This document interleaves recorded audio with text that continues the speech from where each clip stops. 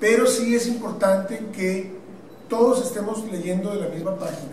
La prioridad en este momento son los adultos mayores, porque ni siquiera los médicos con toda la heroicidad que han tenido durante todo este periodo, unos más, otros menos, todos los que han estado al frente de, de la atención del COVID, que esos ya están todos vacunados, independientemente de eso, quienes están muriendo cuando son intubados en una proporción mucho mayor a los demás, pero mucho mayor, son los adultos mayores. Entonces son la prioridad.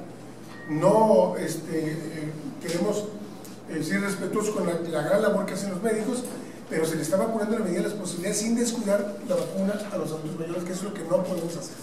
No es una cuestión de capricho. Trabajan para salvar vidas, pero tal vez esa sensibilidad social que tienen nos hace ser tan grillos, ¿eh? le ganan los abogados. Este, pero vamos a irlos vacunando, ¿no? Este, y, y, se han ido vacunando. Acabamos de dar la numeralia, son altas las cifras de, de, médicos que se han vacunado. Pero ¿cómo va a ser la prioridad un, un médico privado sobre un médico público que atiende a, a cientos, a, que, que, circula por pasillos donde pasan miles de personas diariamente? Es, es, diferente el fenómeno. Pero entonces, ellos están montados en la idea de que ellos son prioridad por encima de los adultos mayores y no son. Eso lo digo yo. Ustedes saben que yo doy la cara en las cosas. No, no son la prioridad. La prioridad son adultos mayores.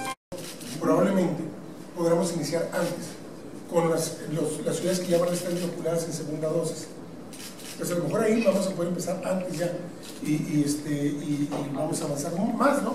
Pero seguramente, con toda seguridad, ya a partir del 5 de, ma de, de mayo va a ser este, ya pura, pura gente que esté, que esté eh, de 50 años para arriba.